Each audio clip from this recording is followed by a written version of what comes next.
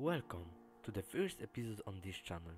Today I will show you the 10 most expensive cryptocurrencies. I invite you to watch. 10. Avalanche The Avalanche is currently worth as much as I am writing on the screen at the moment. At the moment it is not profitable to invest in it. Better to wait until its price drops a bit. 9. XRP I recommend investing in it because in a few moments you can earn a lot on it and I can see that it is slowly climbing up. 8.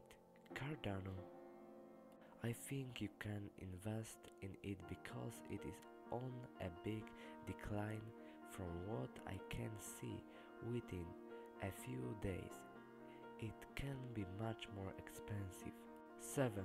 Terra Terra currently costs as much as you see on the screen. Terra is slowly going down when it's at a good price to buy it will let you know. 6. Solana I think Solana will drop in a moment and this will be the moment to invest. So I advise you to stop and wait so that your money does not fall with her. 5.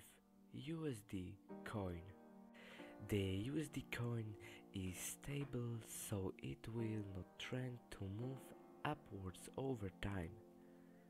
4.